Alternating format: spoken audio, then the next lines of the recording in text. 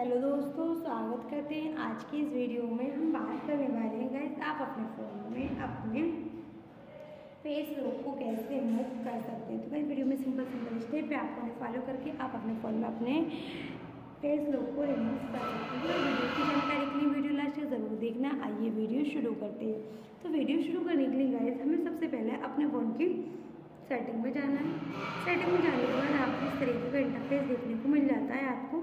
तो गैस हमारा password document पे क्लिक कर देना। क्लिक करने के बाद यहाँ पर फेस आ रहा है। फेस पे हम क्लिक कर देंगे।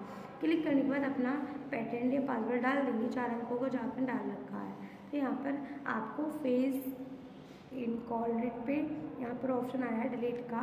तो आपको कैंसिल करना है यहाँ से डिलीट का। अभी हम अपने फ़ोन में अपने फेस लॉक को रिमूव करना चाहते हैं। तो यहाँ पर डिलीट का ऑप्शन देखने को मिल जाता है। तो हम यहाँ से डिलीट कर देते हैं। तो इस तरीके से आप अपने फ़ोन में अपना फेस लॉक रिमूव कर सकते हैं। तो गाइस वीडियो पसंद आई हो तो शेयर करें लाइक करें चैनल पर नए हो तो चैनल को सब्सक्राइब करें। मिलते हैं अगली नेक्स्ट वीडियो में, तब तक के लिए bye bye and take care